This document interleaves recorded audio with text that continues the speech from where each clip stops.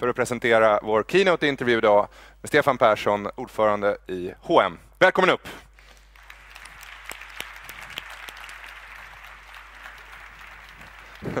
Så, här får man välja plats utifrån Oj, den jag, som tar, jag, jag tror jag tar en grön stol.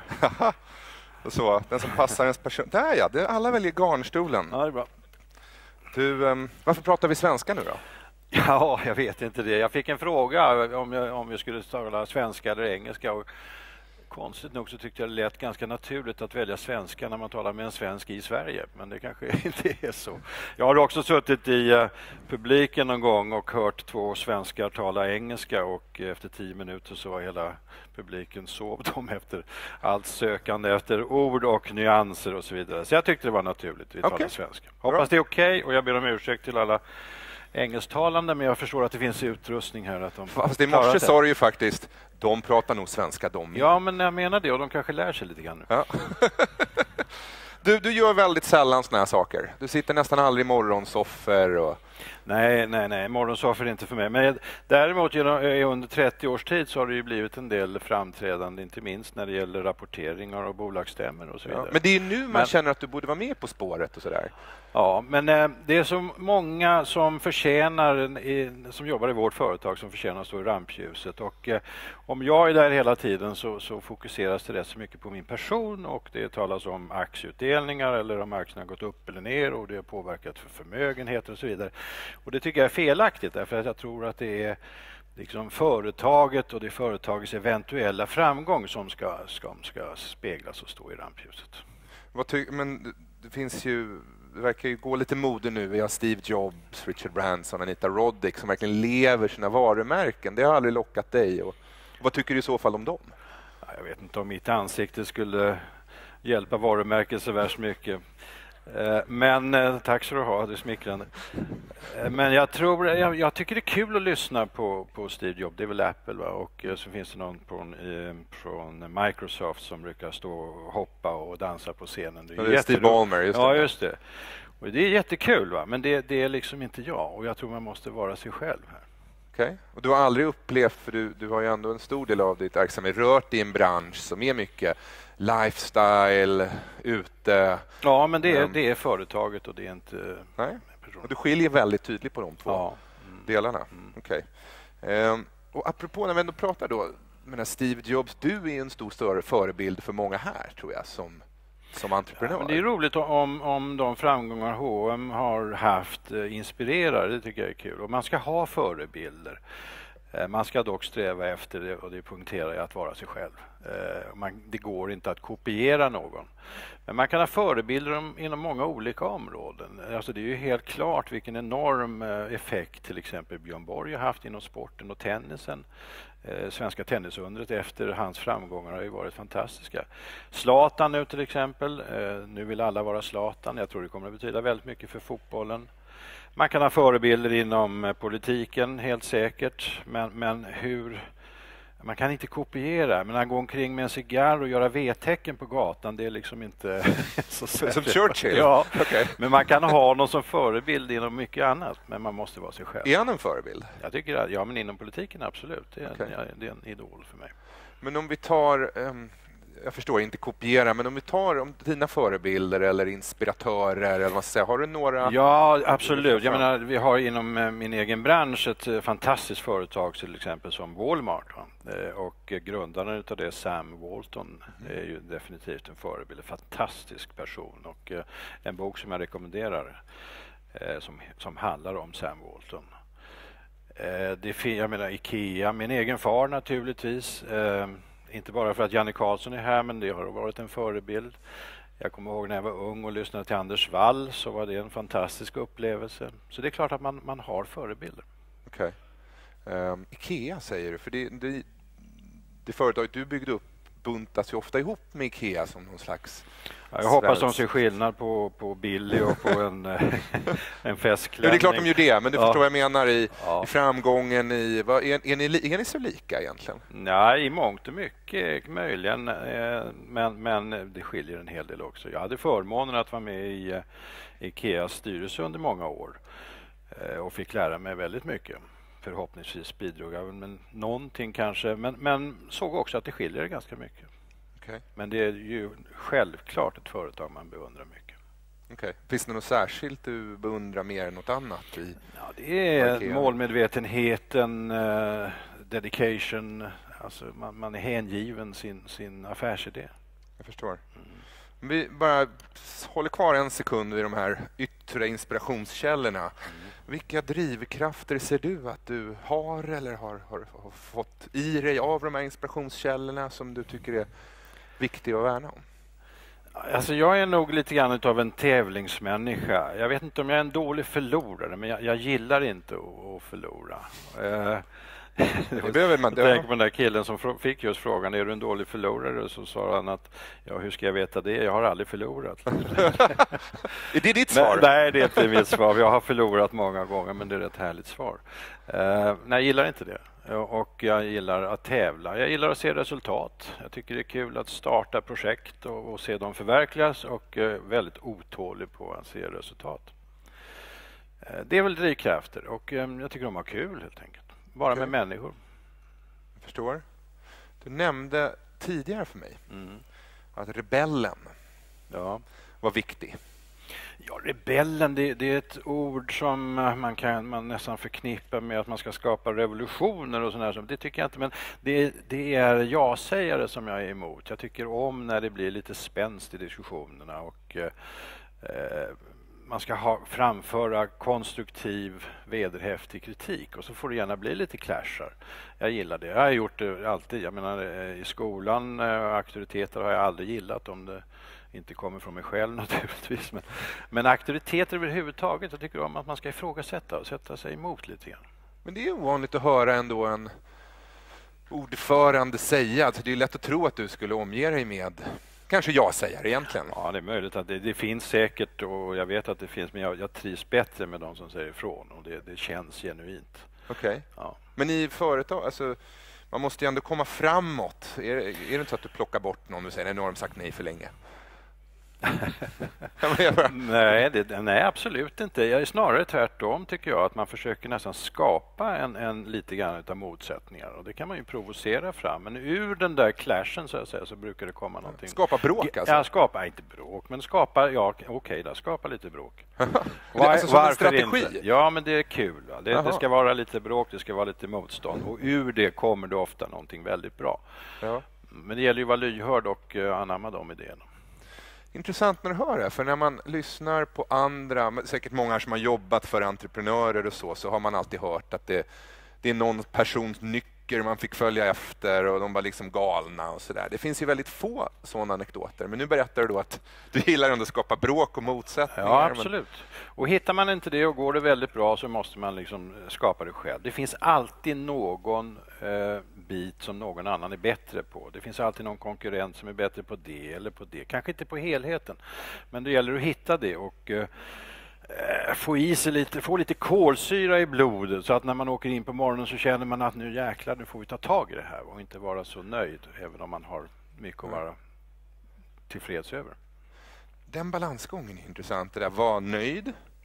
Och, och tror jag många strävar efter, känslan av lugn, förnöjsamhet och den andra då drivfjärden att komma upp på morgonen, kanske lite prestationsångest tror jag mm. ja, många upplever. Det, sådär. Jag tror det är viktigt att ha det i sig. En vilja att ständigt, eh, inte förändra nödvändigtvis, men att förbättra. Har du det?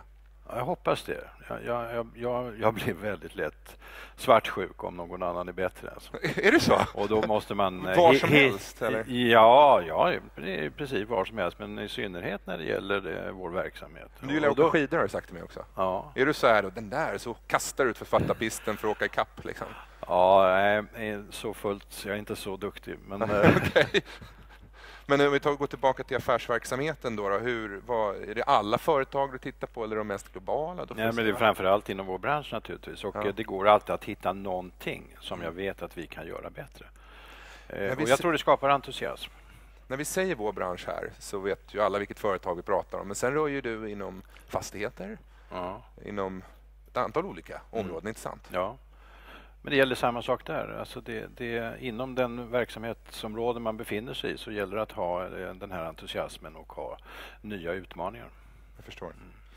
Eh, ni har ju haft en fantastisk tillväxt. Fantastisk tillväxt. Mm. Eh, en tillväxt som, som många andra kan drömma om i hur många man når och internationalisering. Vad har du sett för faser under den här expansionen ni har gjort?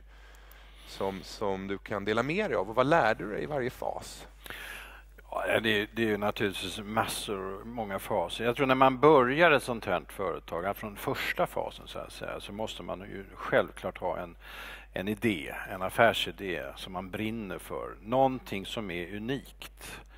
Eh, någonting som man kan argumentera för till kunderna är unikt. Jag tror inte att idag man kan Eh, ha framgång genom att eh, starta en ny kemtvätt till exempel. Om man inte kan argumentera att vårt kemmedel är bättre, eh, vi pressar effektivare, vi levererar snabbare. Det är de här för, unika fördelarna man måste brinna för. Det är uppstartningen. Och sen gäller det att hålla igång den här affärsidén så att den brinner när man kommer i varje fas. Men just det vi talade om tidigare, om man har det i sig i, organisationen att, som ett mål och nästan som en del utav affärsidén att man vill uppnå ständiga förbättringar så, så håller man det här igång. Eh, man kommer in i andra faser där eh, man känner att eh, byråkratin smyger sig på. Det är onekligen så att vi, vi gör det och vi håller, försöker hålla det borta så gott, vi, så gott det går genom att ständigt prata om det. Men de här raka rören, alltså, det blir svårare och svårare. Har du något ögonblick sådär när du vaknade upp och bara nej, vi har ju blivit liksom, eh, byråkratiska nu, vi måste ta bort ja, det. Ja, men det händer, det händer rätt ofta måste jag säga. Och det, det är liksom, har man en butik så är det betydligt lättare att gå ner och göra Aha. förändringar än om det är 2000. Och vi konkurrerar med många på många olika platser med just sådana som har en eller två butiker. Och där eh, från beslut till handling. Det går väldigt snabbt. Va? Och där vi kanske kan bli lite sena. Och, eh, till och med butikschefer tänker så här att ja, men vi är en utav 2000. Ja, men det kanske inte spelar så stor roll vad vi gör. Och det är farligt. Jag förstår. Mm. Så vi, ska vi fortsätta tillväxtresan då? Är det någonting du har märkt senaste när ni nu har internationaliserat så stort? Vad händer då i ledarskapet? Då? Är det fortsätta förbättringen? Och jag tror att just internationaliseringen har betytt mycket, att många duktiga eh, medarbetare söker sig till oss. Därför att det är en rolig bransch för det första och det attraherar många unga men just det att vi är internationella tror jag också är attraktivt. Och, eh, så det, det är glädjande att vi ser att många duktiga kommer och söker till oss. Har ditt eget ledarskap förändrats? Har du lärt dig saker om ledarskap som du har har du försökt förbättra det under? Ja, det, jag tror att det är en del av att man måste vara lyhörd. Och, men, men det viktiga, och det, det, är ganska lätt för mig, för jag är en ganska lat person av mig, att, att delegera. Ja. Eh, och eh, det tror jag är oerhört viktigt för en organisation. Och eh, inte bara äh, ordet delegera, utan det måste vara genuint. Så att medarbetarna känner sig att de verkligen är delaktiga i framgången och i bakslag om man har sådana. Men la, många entreprenörer och även briljanta människor pratar om lathet. Vad menar alltså, det är inte så att du är... Det är, det är inte lathet, men, men jag kan gärna ta en, en golfrunda eller eh, åka lite skidor och få lite distans. Jag tycker att det är ganska viktigt faktiskt. Okay. Man ser saker med andra perspektiv och an, med, får andra ögon och man eh, pratar med andra utanför sin egen bransch och får nya idéer. Jag tycker det är ganska viktigt. Det här jobb så antalet timmar man sitter vid skrivbordet just, det tror jag inte är avgörande för framgången. Nej. För det säger många andra, att jag jobbade dygnet runt. Ja, grattis. Okej. Okay. det, det, finns, ja, det men... finns andra saker som är roliga på dygnet. Måste... Ja, men hur fick du ihop det då? Alltså, hur kunde du... Det har gått ganska hyggligt tycker jag. Okej. Okay. Mm. Ja, ja, jo, ja. Det betvivlar jag inte, Nej. men jag tycker det, för att om vi tänker att många sitter med den delen nu, de måste sitta och serva den och programmera om den algoritmen eller... Jo, men då, då är det just det att man måste, man måste begripa vad man är bra på och inte är bra på och sen delegera. Okej, okay. mm. ja men det är bra. Um, har du några fler tips till entreprenörer? Vi ser att det sitter några här inne med kanske upp till 10 miljoner i omsättning. De kanske är upp till 10 personer. Det kanske finns några som är ännu större. Men, och mm. nu vill de nå 2000 butiker eller liknande och miljarder och sådär. Vad, vad är några dos and don'ts? Ta en butik i taget, det är det första tipset. Okay. Och eh, behandla varje butik som om det vore den enda. Eh, varje ny butik måste få den kärleken och varje ny förhandling om en ny butik är lika viktig som om det vore den första. Men att få alla i företaget, om det nu var 10 miljoner de omsatte, att förstå affärsidén och att de förstår att de är delaktiga, att man har ett gemensamt mål. Det ska vara lättfattligt att begripa att dit ska vi. Mm. Det skapar entusiasm.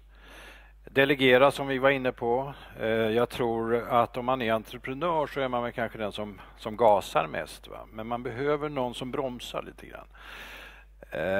Som ger underlag. Den, han eller hon ska inte styra besluten men ge underlag så att man kan ta en kalkylerat beslut utifrån det. Det tror jag är oerhört viktigt. Det har varit enormt viktigt för mig, min närmsta man Janne Jakobsen som som eh, ständigt la eh, underlag för, ska vi verkligen fatta det här eller inte? Ja, vi kör eller vi bromsar. Han sa nej? Han, han sa nej, va? lite grann av en nej-sägare. Jag är mer av en ja-sägare, men det, det, det, har ju gått åt rätt håll. Ja. Man, man hamnar ungefär i rätt riktning åtminstone. Anställ din motsats egentligen, det du säger? Ja, det kan man säga. Om man är en broms så ska man inte ha en till broms? Nej, men han var en, en broms med, med kombination mycket fantasi och gott omdöme också. Så att, eh, Okay. Nu finns han tyvärr inte mer, men han har betytt oerhört mycket för vårt företag. Ja, jag förstår. Jag förstår. Eh, en annan dröm som många entreprenörer är idag som, som inte ni har gått igenom, det är det här exit. Alla man, kör exit i IPO, det är uppköpet. Hur ser du på det? Ja, alltså jag tror inte man ska börja med att fundera på att eh, nu ska jag det här eh, göra en exit om x antal år. Eh, och då drar jag in så och så mycket pengar därför att det blir ingen själ, det blir ingen kultur i det företaget. Utan då gör man ju allting för att man ska lämna företaget så småningom till några andra. Eh, det, det tror jag inte är rätt början så att säga. Mm. Nej, jag... Och själ och kultur, det, det är oerhört viktigt. Men kan vi bygga stora företag fortfarande? Ja, absolut. Jag menar med den förändringstakt som finns i världen idag, nya områden och teknikområden och så vidare. Det, det uppstår enorma möjligheter runt alla sådana här förändringar i världen. Så att um, det, det, kan man göra. Jag förstår. Jag fick en, faktiskt en fråga, en följdfråga från, från vår Twitterkanal här. Vad tror du är skillnaden mellan det entreprenörskap som du och din far levt jämfört med det entreprenörskapet som finns idag? Om någon. Ja, min far var ju, var ju den verkliga entreprenören eftersom han grundade det här företaget i princip från noll. Va? Jag är ju då mera en, en intraprenör som vi nu gav pris till. Eh, men med en entreprenörs lust att eh, förnya och eh, förbättra och eh, skapa nytt också. Jag tror att i ett företag av H&M, jag, jag, är, jag, är utav den, jag, jag vill ha många entreprenörer i, i vårt företag. Jag vet att det finns de som har sagt i stora företag att nej, vi har inte plats för entreprenörer i vårt företag. Det är en entreprenör eller det är en idé och sen ska alla bara följa det. Jag, jag, jag tycker inte det. Jag delar inte den åsikten utan man ska gärna fullt med entreprenörstänkande människor. Hur lyckas ni behålla dem? Ja, men de, de, om man eh, då erkänner att de verkligen är delaktiga och att nå målet så är de, känner de sig nog ganska nöjda. Vissa har ni ju förlorat på resans väg och då pratar man ju mycket, åtminstone i media, om det svenska modeundret. Hur ser du på det? Det kanske låter förmätet, men, men det svenska modeundret är någonting vi talar om i Sverige, men eh, utomlands är det ingen som har talas om det svenska modet. Va? Är det sant? Jag, trodde ju att jag ber om ursäkt om det är någon från branschen här som räknar sig till det svenska modeundret, men det finns med, med, med, undantag naturligtvis, men det, det är nog ett svenskt fenomen. Okej, okay. så det är en, över, alltså en pressanka lite grann, tycker du? Ja, det är någonting som vi vill ha här i Sverige. Jag vet inte. Förstår. Du, eh, du nämnde Sam Waltons bok här och jag har fått ett intryck av att du läser ganska mycket. Ja, jag tycker det är kul att läsa. Jag tycker det, det ger mycket. Eh, både eh, historiska böcker och biografier. Och ja, vad har du, så här, för att ta en klassisk sån här faktaruta, vad har du på nattduksbordet just nu? Oj. Jag känner mig lite dum när jag ställer den, men ja, ja. ja nej, just nu har jag faktiskt en bok om Reagan. Uh, och uh den har inte kommit så långt så du kan inte ställa några frågor och sätta dit Dutch, mig. Dutch som kom ut uh, Ja, just det, precis. Ja, mm. ja, kul. Du gav ju mig ett boktips. Mm. Apokalypsens gosiga mörker tyckte du att jag skulle läsa. Ja, men vi snackade ju då innan här om, om ja. lite lite olika saker. Jag tycker det var en fantastiskt bra bok. Den fick jag också tips om. Och det är en liten bok, tunn bok. Men den handlar om hur vi älskar liksom att grotta ner oss i, i, i den här att allting är eländigt och hopplöst. Och det, det, kan vara fågelinfluensa eller svininfluensa eller klimathotet eller svält och krig och allt sånt där. När egentligen allting bara blir bättre och bättre. Eh, och det där behöver man eh, påminnas om lite då och då. Och han leder det där som barn kan bevisa att han har rätt i princip. Va? Jag vet inte om du läste boken efter? Jo, jo absolut. Um, det var en fascinerande bok. Just titeln också, Gosiga mörker. Apokalypsens ja. gosiga mörker. Ja, men vi, jag tycker att det, du, du, man hör ju inget annat i radio än att läsa tidningarna än eländet alltså. Men vi tar eländet då. Vilka, vilka omvärldstrender tycker du att vi fäster för mycket vikt vid och vilka underskattar vi? Ja, jag är ju ingen vetenskapsman på det här området. Jag är väldigt rädd för att sticka ut och säga att klimatdebatten är för överdriven och så vidare. Men den borde, tycker jag, vara lite mer nyanserad. Och läser man tidningar utomlands så är den det. Ehm, men här så är det ju nästan som en förnekelse om man skulle ha en annan mening än, än Al Gore ungefär. Och jag tycker det går för långt ibland. Eh, men, men eh, det kanske tjänar sitt syfte att vi tar den på allvar därför att det är så högt eh, klimatton. Jag vet inte. Och vi kanske blir effektivare. Det är möjligt. Ja, ja. Vilka, och, Men sen är det, ja, det är alla de andra grejerna som vi pratade om. Nämligen det är svält och det är krig och det är terrorism och det är eh, Vi pratar Kina. Kina kommer att ta över. Ja, det tycker jag inte det ska upplevas som något hot utan som en eh, stor möjlighet. Mm. Att både Indien och Kina kommer här starkt. Va? Den här globaliseringen tror jag man ska se som en stor möjlighet. För det ger ju möjligheter för oss eh, med våra tjänster och våra produkter att sälja på en långt mycket större marknad än vad som finns tillgänglig idag. Men det kommer att vara jobbigt i skarven eh, för många av vår, stor del av vår industri. Det är ju helt uppenbart. Men det är fascinerande att åka ner till, till Kina och Indien inte minst och se vilken drive och vilken enorm hunger man har där på att eh, lyckas. Eh, vi konkurrerar inte på samma villkor. Alltså. Vi, vår välfärds välfärdsproblematik och, och, våra krav som vi ställer, de, de eh, kostar rätt mycket. Om vi tar de andra, Kina, Indien, Brasilien, Ryssland är väl de som brukar grupperas. Vad, vad tycker du om de två länderna, Brasilien, Ryssland? Kan, kan för lite om dem. Alltså, men jag, jag, jag tror framför allt att det är Indien och Kina som kommer att vara de stora spelarna. Brasilien, eh, vad jag förstår, går det ju mycket bra för också. Ja, mm. intressant. Du, eh, varför ska man jobba med familjen? Du menar familjeföretag eller familjen överhuvudtaget? Med familjemedlemmar, för du har ju omgett dig ägande och drift med familjemedlemmar. Ja, ehm. jag tror att familjen, det beror på hur man definierar den, det är inte så lätt nu för tiden. men, men om vi tar den traditionella familjen så det är klart att, att, att barn eh, mår bra av att ha eh, förebilder och vuxna människor som, som bryr sig. Mm. Eh, när det gäller familjeföretag så får man komma fram, eh, vara klar över att jag tror att de står för majoriteten av företagandet i världen. Eh, mer, än, mer än 50 procent. Men det där kan ju, vad heter hon, Anneli Stider Karlsson som kommer från Handelshögskolan mycket väl och som jobbar med familjeföretagande. Okej. Okay. Om man tänker några här som vill anställa sin bror eller ha syrran med som delägare till exempel, vad ska man tänka på? Ja, alltså man får nog tänka på att man kan ha många olika roller. Man behöver, man behöver inte vara VD, man behöver inte vara den som tar, tar och eh, sätter sig i ledningen för företaget utan man kan ha olika ägarroller. Ja. Eh, och jag tror den som lämnar över ett familjeföretag ska göra klart det här på ett ganska tidigt stadium. Och eh, då tror jag man hittar sin roll, det man passar bäst för. Alla har ju inte samma egenskaper, Nej, som tur är. Um, varför har du stannat i Sverige? Språket. Såklart!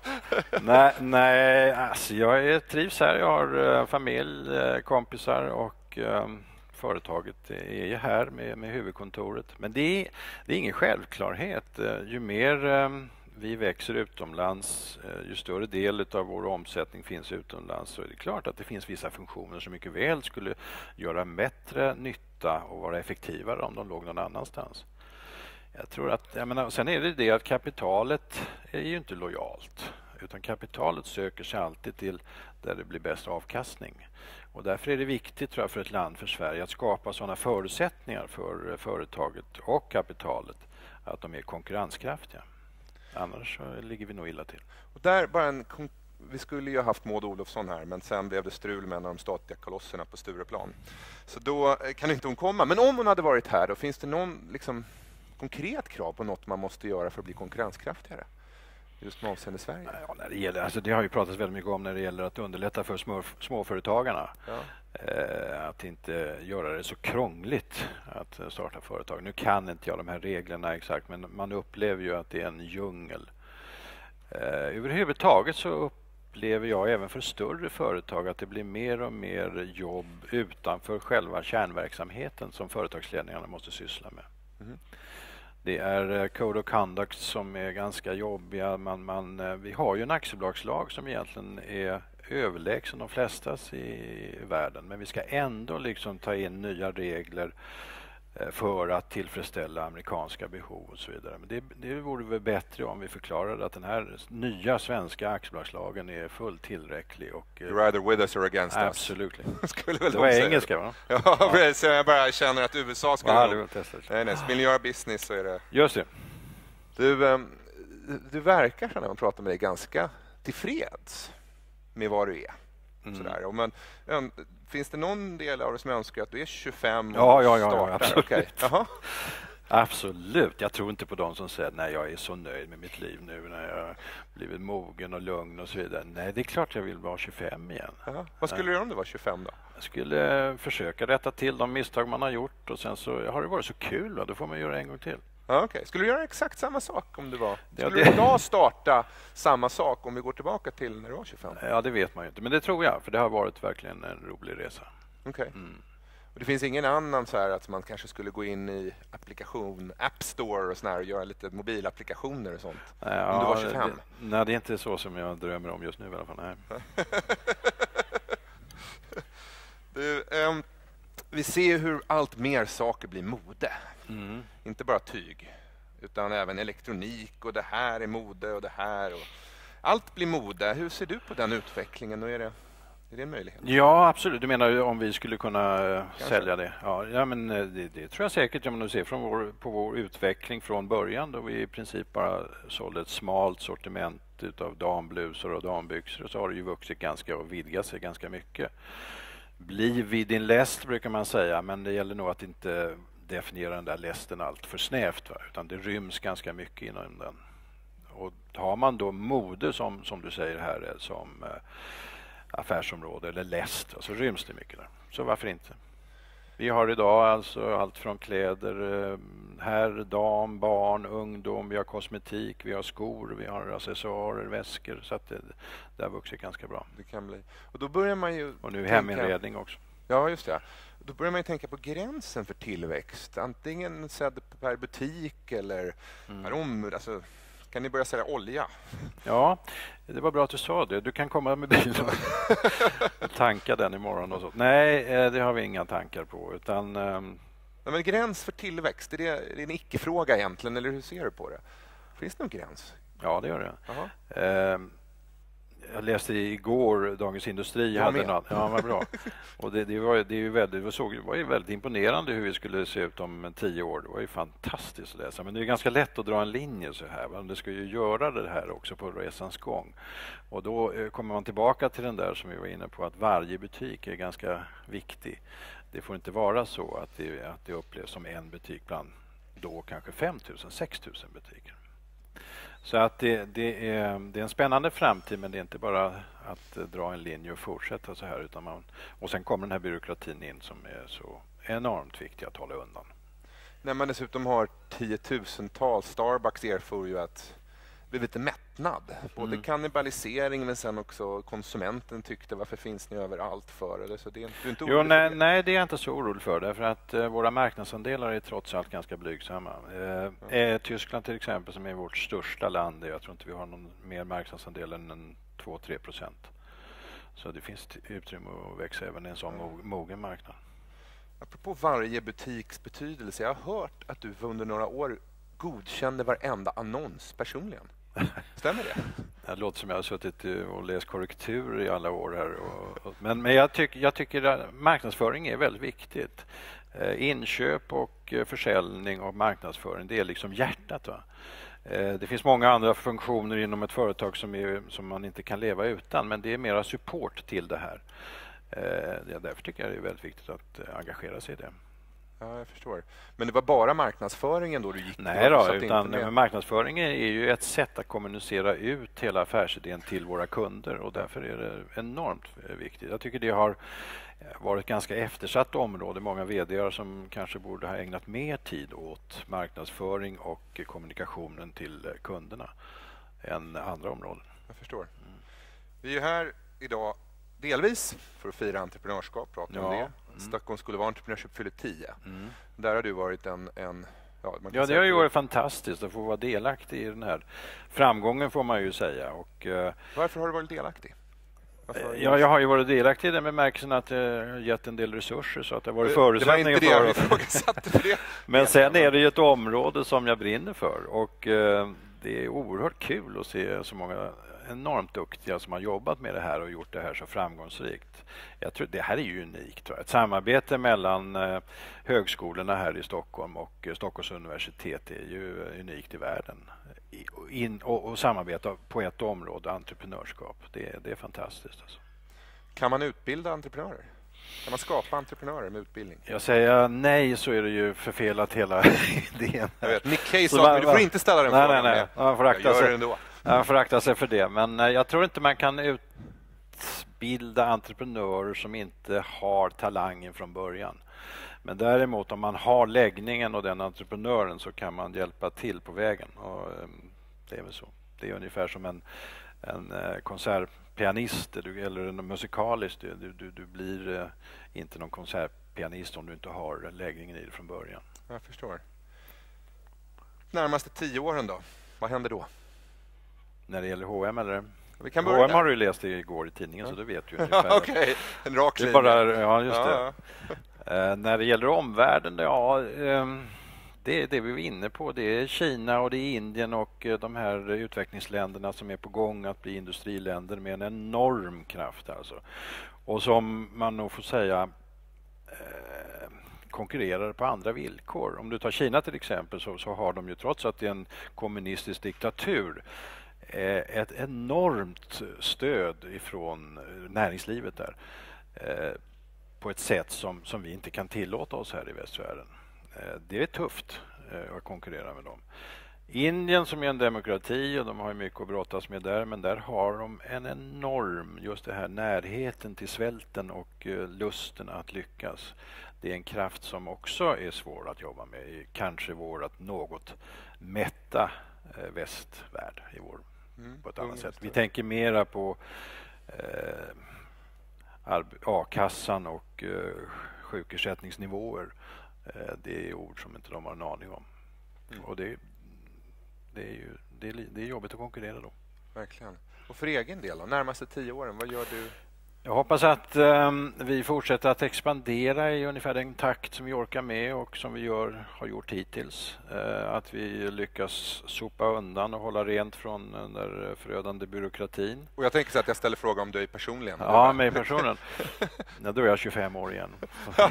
är det så? Ja, absolut. Alltså, jag, jag, hoppas att jag ska försöka behålla den barnslighet som jag upplever mig själv ha fortfarande. Jag tycker det är fruktansvärt kul och eh, jag är nog ganska barnslig. Men, eh, men jag vill fortsätta vara det. Nyfiken. Du, tusen tack för att du kom till Good Morning 2019. Oh, det var underbart. Thank you very much. nu är det så här att... Tack. tack. Um, jag virkade en halsduk till dig men då sa Marie som driver showen att nej, han kan det här med liksom mode. Så då tänkte jag, då skriver jag en bok istället som man får, som man gillar att läsa. Och så får du en alarmklocka här för att liksom väcka de lata och väcka de eh, icke insiktsfulla, om man ska säga. Tack så så, Tack igen. Tack. Thank you, Stefan. Tack, tack.